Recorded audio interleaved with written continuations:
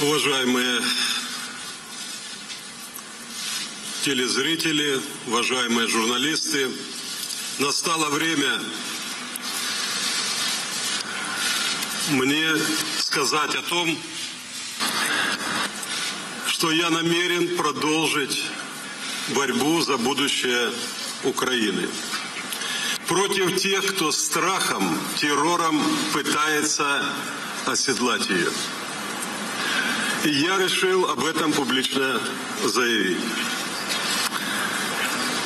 Никто меня не свергнул.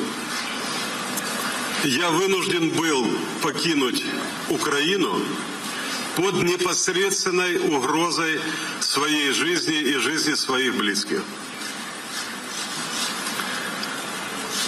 Как вы знаете, в Украине власть захватили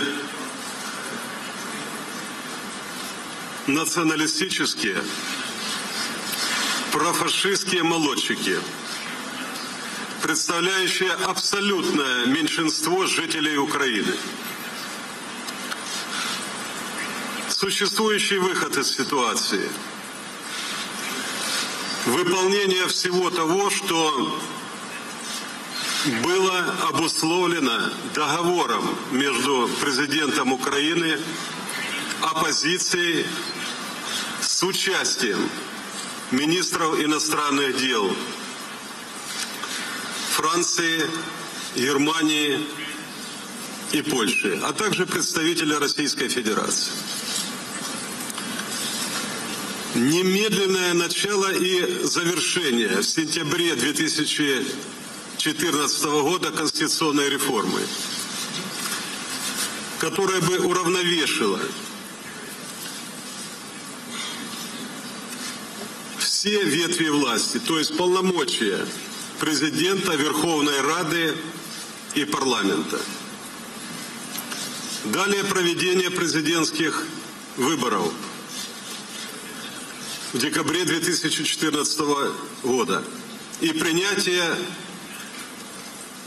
новой Конституции. Конечно, очень важно провести беспристрастное расследование актов насилия под общим мониторингом власти, оппозиции и Совета Европы.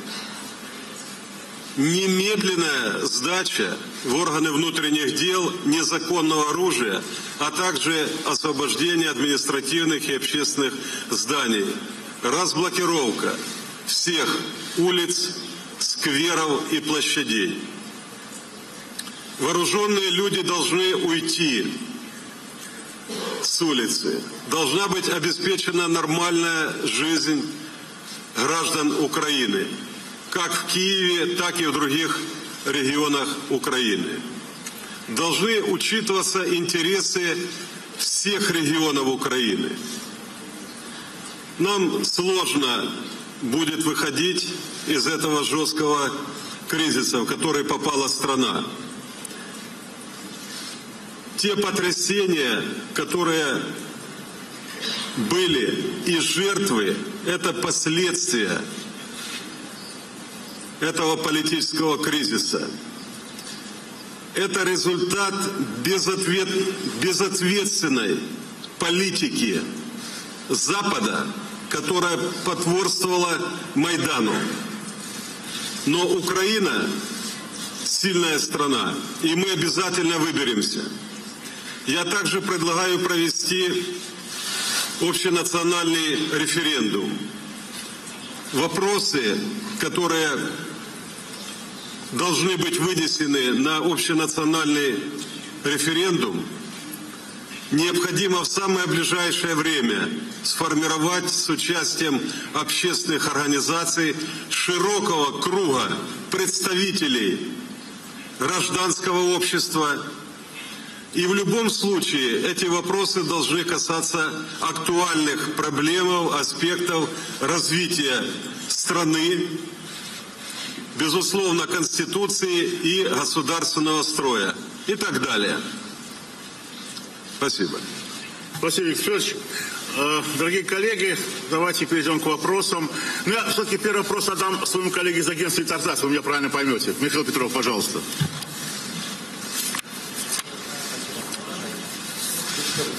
Не работает микрофон. Только, пожалуйста, все представляйте, микрофон не работает. Да, Михаил Петров, агентство Тартас. Микрофон включите, пожалуйста. Девушка, которая держит микрофон. Включите микрофон. чтобы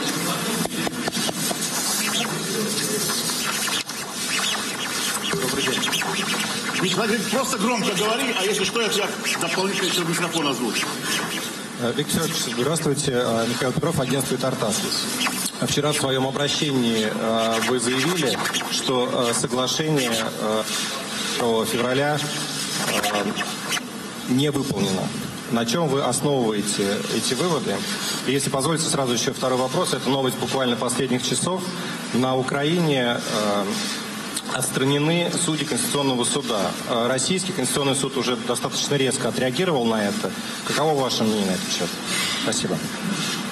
Спасибо. Да? Да, да, я, я понял вопрос.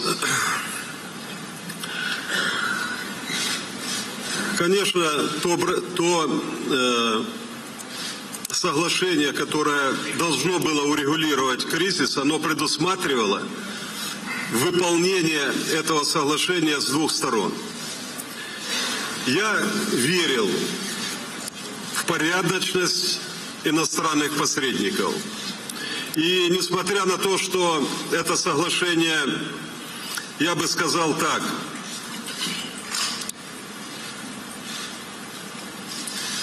было достаточно противоречивым и сложным. Я его подписал. И подписали лидеры оппозиции. Подписали министры иностранных дел трех государств. Действительно, оно в то время было очень важное. Оно предусматривало, что оппозиция и радикальные силы, которые были представлены на Майдане и не только на Майдане, но и в других регионах, они должны были разоружиться, освободить все захваченные территории, но это не было выполнено. И как результат Киев был наводнен вооруженными людьми, которые начали громить дома, культовые учреждения, храмы, начали страдать абсолютно невинные люди. Людей просто на улицах грабили и избивали. И это продолжается и сейчас. Поэтому соглашение для нас, конечно, давало какую-то надежду. Но все, что произошло дальше, трудно это назвать какими-то эпитетами. Это беззаконие, террор, безвластие и хаос, которые наступили после этого – это беспрецедентные решения, которые принимались в парламенте способом насилия над депутатами, запугивания, забрасывания их камнями, их в прямом смысле слова таскали на Майдан, чтобы они там присягали. Это никак не назовешь работой парламента. Это работа Майдана. Под воздействием силовиков и боевиков Майдана парламент голосует.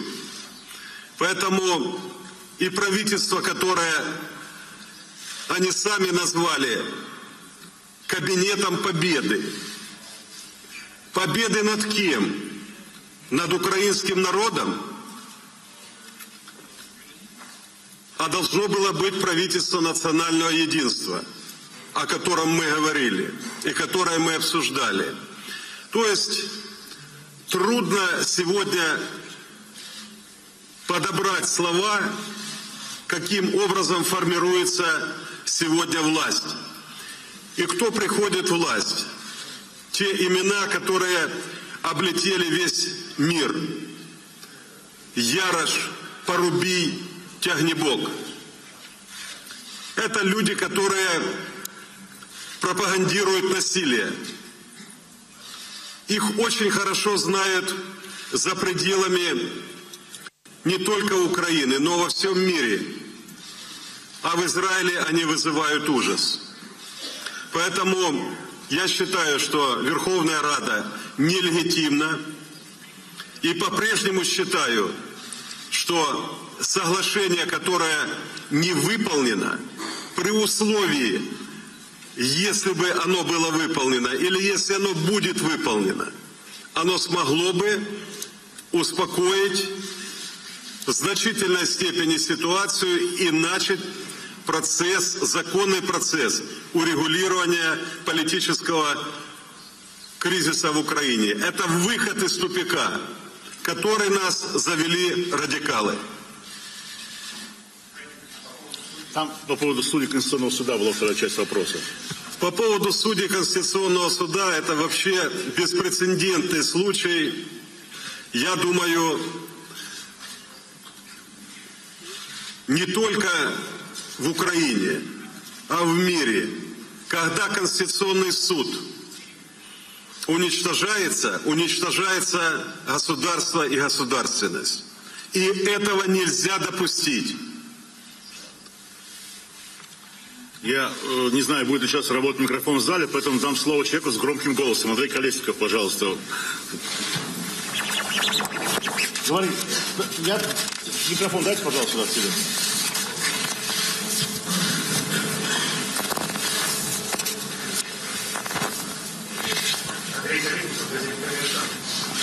Пожалуйста, Виктор Федорович, этой истории за что-нибудь стыдно?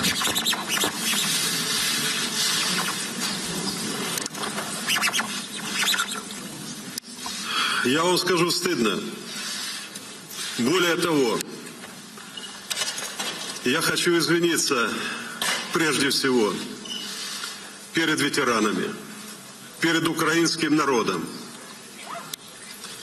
за то, что произошло в Украине, за то, что у меня не хватило сил удержать стабильность и допустить тот беспредел, который сейчас творится в стране.